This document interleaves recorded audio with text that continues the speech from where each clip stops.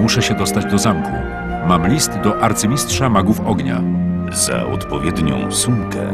Czyli ile konkretnie? No cóż, liczenie rudy musi potrwać odpowiednio długo.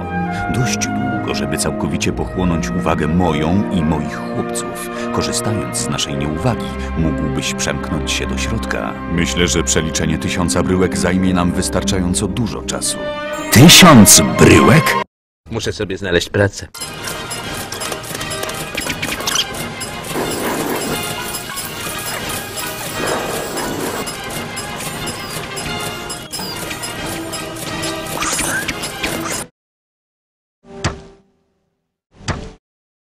Szukam pracy.